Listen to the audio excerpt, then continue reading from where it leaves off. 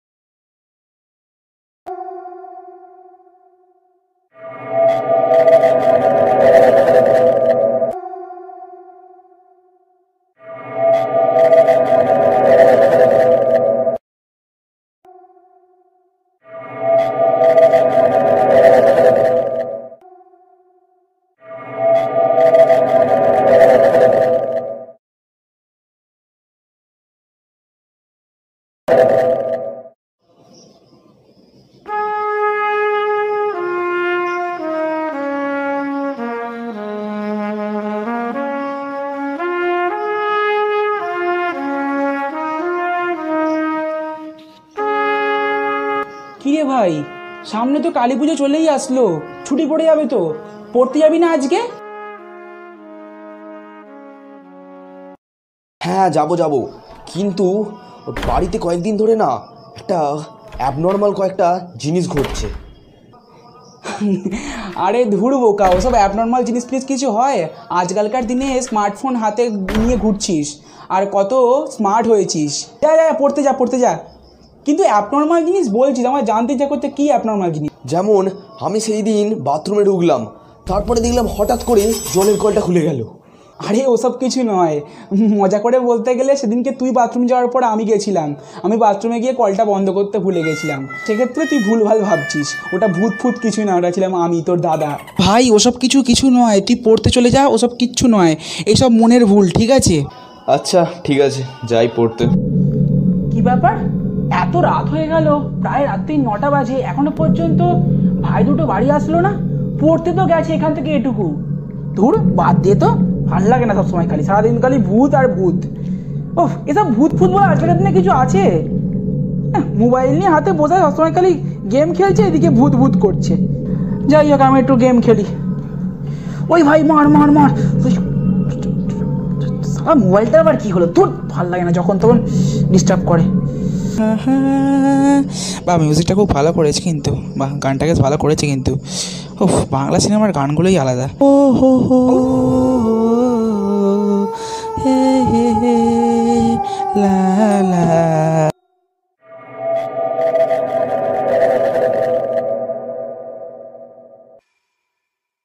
কি ব্যাপার? আমার ঘাড়ের সামনে কি কেউ নিঃশ্বাস ফেলছে? বুঝতে পারছি না কি হলো কেসটা?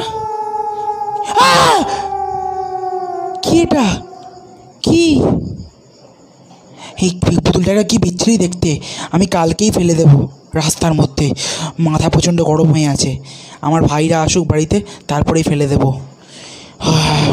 বিরক্তকর পুতুল একটা। ধর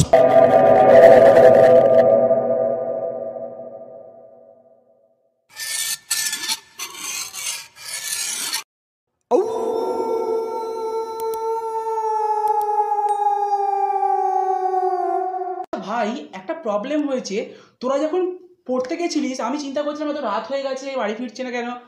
তোরা ফেরার আগে অর্থাৎ হঠাৎ করে দেখলাম ওইখানটা করে একটা পুতুল রাখা আছে। আমি চমকে গেছি পুরো এবারে ভয়ে মানে একদম প্রাণ নষ্টাগত হয়ে গেছে ভয়তে। পুতুল? পুতুল। পুতুল তো আসার কথা না আমরা আমরা তো পুতুল নিয়ে খেলি না। আমার মনে হচ্ছে এটা পা কেউ একজন রেখে দিয়ে গেছে আমাদের বাড়িতে। হ্যাঁ সেটাই হবে বদমাইশি করে রেখে দিয়েছে পাড়ার লোকেরা। তা কালকে আমরা এই পুতুলটাকে নিয়ে ডাস্টবিনে ফেলে দেবো। হ্যাঁ হ্যাঁ সকালবেলায় একদম ফেলে দিয়ে আসতে হবে।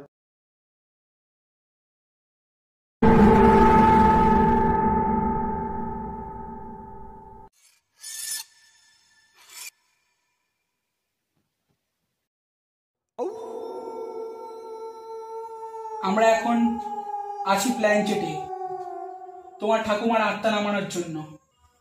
রাত তিনটে বাজতে আর কিছুটা সময় বাকি। তোমরা সবাই প্রস্তুত? হ্যাঁ দাদু। এসবেতে তোমার মা বিশ্বাস করে না। তোমরা দুজনে দেখো এটাকে বলে হচ্ছে গোস্ট কলিং কি? এটাকে দিয়েই তোমার ঠাকুমার আত্মাকে রাখা হবে। তাহলে চলো আমরা আমাদের কাজ শুরু করি। তোমরা চিন্তা করো তোমাদের ঠাকুমাকে কেমন দেখতে?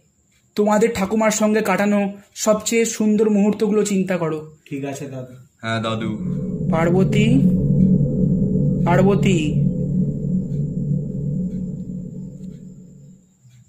পার্বতী এবারে আমরা আমাদের গোস্ট কলিংয়ের অর্থাৎ প্ল্যান চেটের প্রায় অন্তিম পর্বের দিকে আছি।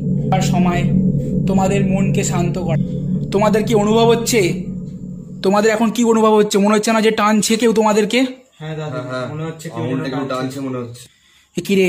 মনে হচ্ছে তোমার ঠাকুমা ওই কালো বিন্দুরার মধ্যে এসে গেছে। হ্যাঁ মনে হচ্ছে মনে হচ্ছে মনে হচ্ছে দাদা মনে হচ্ছে কিছু একটা হচ্ছে।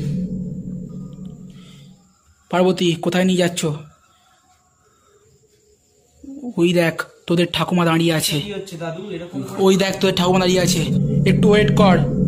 গোল গোল করে ঘোরাচ্ছে ঠাকুমা তোদেরকে আমাকে। এত বছর ধরে আমাকে অপেক্ষা করিয়েছে। এবার এতদিন পরে আমার কথা মনে পড়ল তোমার পার্বতী। পার্বতী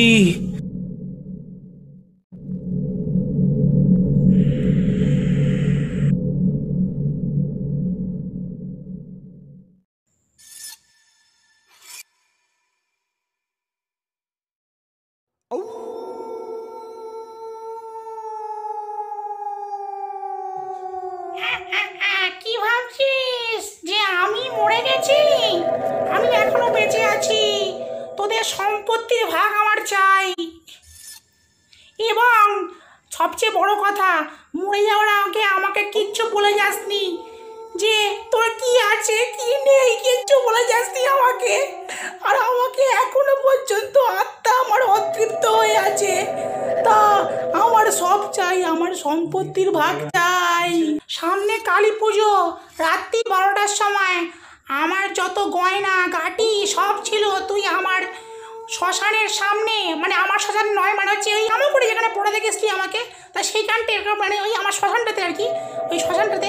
তা ওইখানটা করে রেখে আমার যত গয়না গাটি কাপড় সব রেখে দিয়ে আসবি। আর যদি না রেখে দিয়ে আসিস, তোর আমি সব প্রাস করে দেবো পুরো। তোর কপালে দুঃখ আছে পুরো যদি আমাকে কোনো কিছু না দিস, সব কিছুই তোর ছেলেকে সম্পত্তি লেখা তা তোর কপালে দুঃখ আছে। এই বলে আমি শেষ করছি, ঠিক আছে? আর ভালো থাকিস, সুখে থাকিস, এবং পরিবারকে পুরো একবারে গোষ্ঠীর পিন্নি করে দেবো পুরো তোদের এখন, সব বনাস করে দেবো পুরো একবারে। এই আর কি মনে হচ্ছে?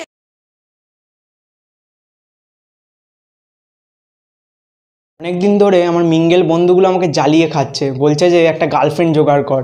এবার একটা গার্লফ্রেন্ড জোগাড় করেই ওদের দেখিয়ে দেবো। এই জিএফটা না আমাকে আর বাঁচতে দেবে না। এই সাথে আমি এবারে ব্রেকআপ করেই দেবো। টাকা চাই অমুক চাই তমুক চাই। এই বলে বলে সারা পুরো সারা দিন মাথা পুরো খারাপ করে দিচ্ছে।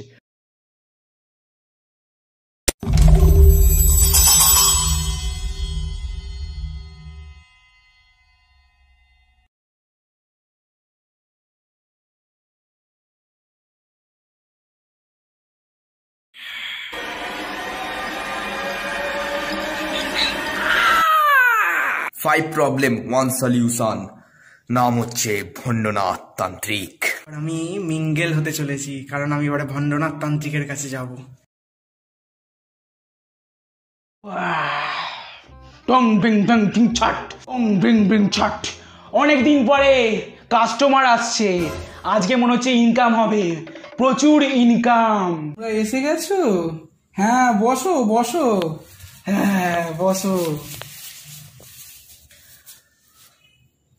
ওং হিং টিং ছাট বল তোদের কি চাই? আমাদের একটা দাবি আছে দুজনেরই তা বলো তোমাদের কি মনস্কামনা? হ্যাঁ বাবা আমার দাবিটা শুনুন তাহলে। আসলে আমার গার্লফ্রেন্ড না আমায় খুব জ্বালায়। এটা কিনে দাও সেটা কিনে দাও এ নিয়ে খুব জ্বালায়। তাই আমি ওর সাথে ব্রেকআপ করতে চাই। ও আচ্ছা প্রেমের ব্যাপার। যাই হোক কে কামায় ভাই তোমায়?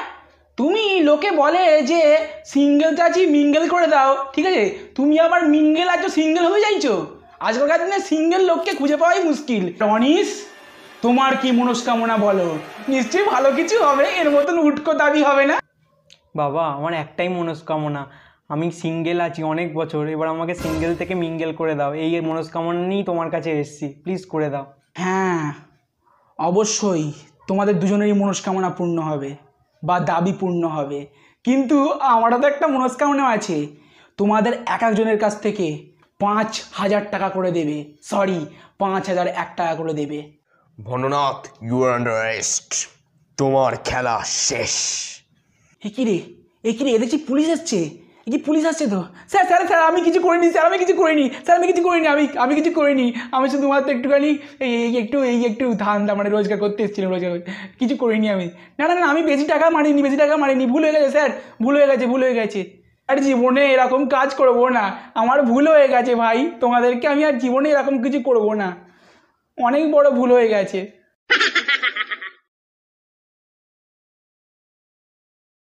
আসো মানে এই টুনি বাল্ব লাগিয়ে ছবি। এ, এ, ইয়ো, ইয়ো। তা এর মধ্যে যখন টুনি বাল্ব লাগিয়ে লোকে ছবি তোলে তখন তাদেরকে কি বলে? টুনির মা বলে! ও টুনির মা তুমি টুনির পছো না। দিনে রাতে মিস কল করে ফোন করো না।